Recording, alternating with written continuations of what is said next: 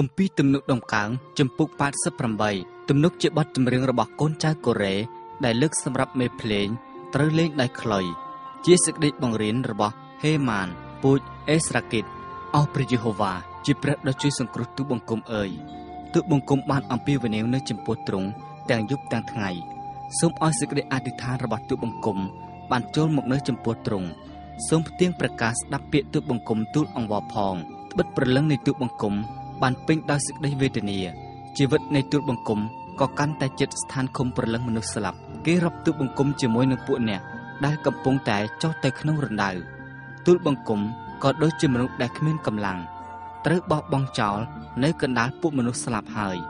ដូចជាអ្នកមួយដែលត្រូវគេកាប់សម្លាប់ដែលដេកនៅក្នុងភ្នោជាអ្នកដែលទ្រង់មិននឹកចាំទៀតសោះហើយត្រូវកាត់ចេញពីព្រះហស្ថទ្រង់ទៅទ្រង់បានផ្ដេកទូលបង្គំនៅក្នុងរណ្ដៅជ្រៅបំផុត គឺក្នុងទីងងឹតនៅទីជម្រៅសេចក្តីក្រោធរបស់ទ្រង់កំពុងតែសង្កត់លើទូលបង្គំជាធ្ងន់ទ្រង់បានធ្វើទុកទូលបង្គំដោយអស់ទាំងរលកទ្រង់ទ្រង់បានធ្វើឲ្យពួកមិត្តភ័ក្តិរបស់ទូលបង្គំឃ្លាតឆ្ងាយទៅក៏បានធ្វើឲ្យទូលបង្គំត្រឡប់ទៅជាទីខ្ពើមឆ្អើមដល់គេទូលបង្គំត្រូវបង្ខាំងនៅនឹងចេញមកមិនរួចភ្នែកទូលបង្គំស្រវាំងទៅ ដោយសេចក្តីទុក្ខព្រួយអោព្រះយេហូវ៉ាអើយ ទូលបង្គំបានទូលអង្វរដល់ទ្រង់រាល់តែថ្ងៃជានិច្ចទូលបង្គំបានប្រទូលដៃចំពោះទ្រង់តើទ្រង់នឹងសម្ដែងការអស្ចារ្យដល់មនុស្សដែលស្លាប់ហើយឬតើអ្នកដែលស្លាប់នឹងងើបឡើងសរសើរដល់ទ្រង់ដែរឬតើនឹងមានគេថ្លែងពីសេចក្តីសប្បុរសទ្រង់នៅក្នុងភ្នោឬពីសេចក្តីស្មោះត្រង់របស់ទ្រង់នៅទីហិនវិនិច្ឆ័យដែរឬអី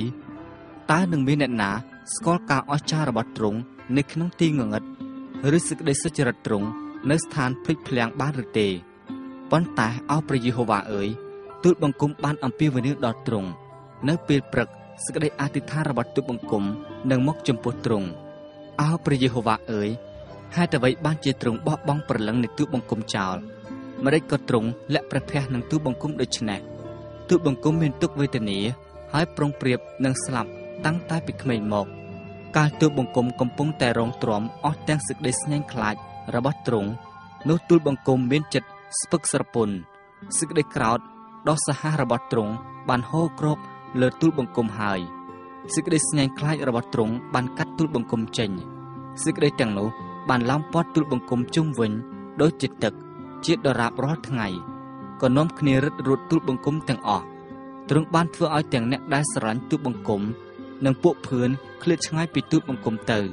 ពួកមិត្តភ័ក្តិរបស់ទូតបង្គំក៏បាត់ទៅក្នុងសេចក្តីងងឹតហើយ